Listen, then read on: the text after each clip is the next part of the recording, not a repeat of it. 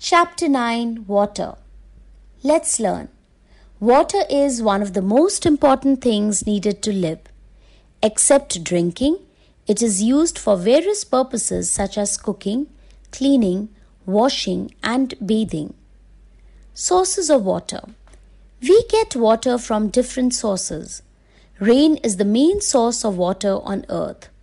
Rivers, lakes, ponds, and wells are some other sources of water.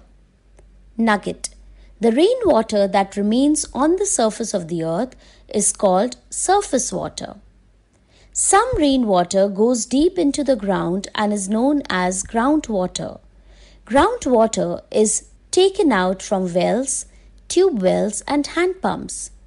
Scratch your brain. From where do you get water in your home? Nugget Seas and oceans are large water bodies, but their water is salty. Drinking water. Water obtained from different sources like rivers, lakes, and ponds is not fit for drinking. It contains many impurities and germs which make it dirty. Drinking dirty water can make us sick.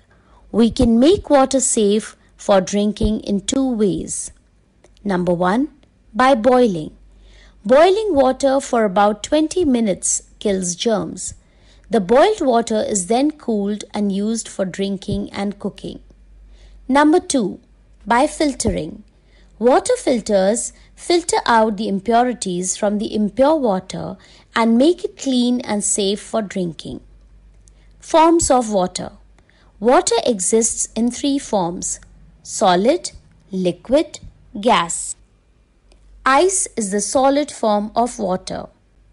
Water is the liquid form of water. Water vapor, steam, is the gaseous form of water. Nugget. Water is the only substance that is found naturally on earth in its three forms. Water can change from one form to another by heating or cooling. The change of water into water vapor on heating is called evaporation. The change of water vapor into water on cooling is called condensation. The change of water into ice on cooling is called freezing. The change of ice into water on heating is called melting. Water cycle. Water keeps changing its forms in nature. Sun's heat evaporates the water from oceans, seas, rivers, and lakes. This water changes into water vapor and goes up in the air. There, water vapor condenses or cools down and changes into tiny drops of water which form clouds.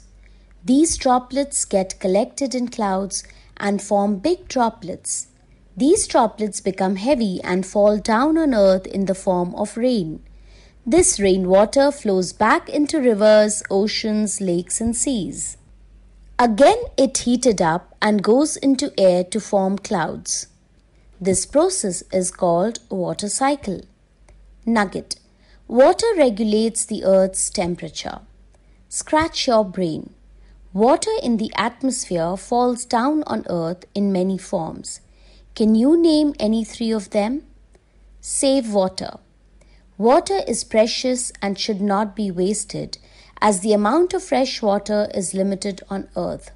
We can save water in many ways. Some of them are 1. Close the taps tightly after using them. 2. Use a bucket and mug to bathe instead of using shower. 3.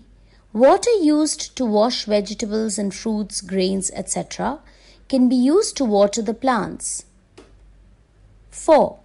Any leakage in the pipelines or taps should be immediately repaired. 5.